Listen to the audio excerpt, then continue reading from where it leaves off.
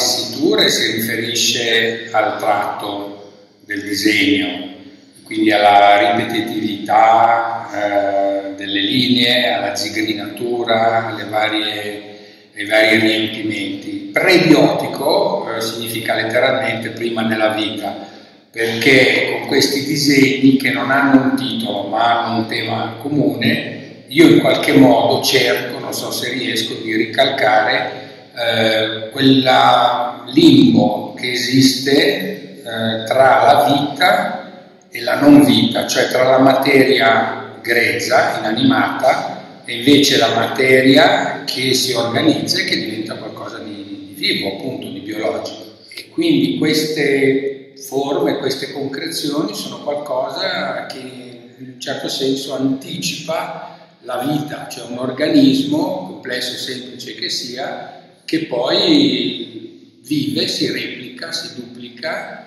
e eventualmente si modifica, evolve. Per esempio questo disegno, che è uno dei più vecchi, ha più di, dunque, questo ha 32 anni, ha una linea in alto a sinistra che fa il paio con questo corpo in basso a destra, quello in alto a sinistra è questa, qui sono un'entrata e un'uscita.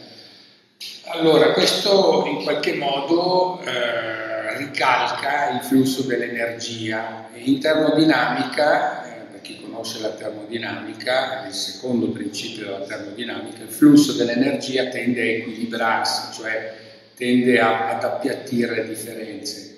Però cosa succede? Durante questo flusso capita che l'energia si organizzi e favorisca il suo stesso passaggio. Questo è ben noto nella termodinamica e prende il nome di struttura dissipativa.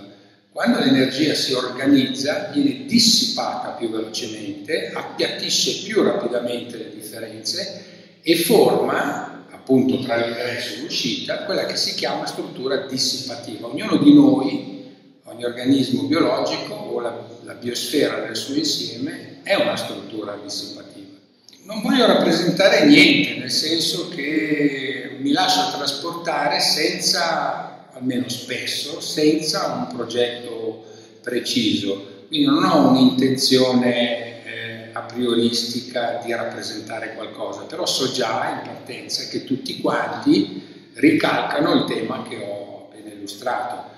E anche per questo non ho dato un nome, perché è come dare un nome ai batteri, a un ceppo piuttosto che a un altro. Trattandosi di arte non avrebbe molto senso. Sì, potevo farlo, ma lascio che il nome lo decida chi guarda. Ecco, assomiglia più a questo, assomiglia più a quell'altro.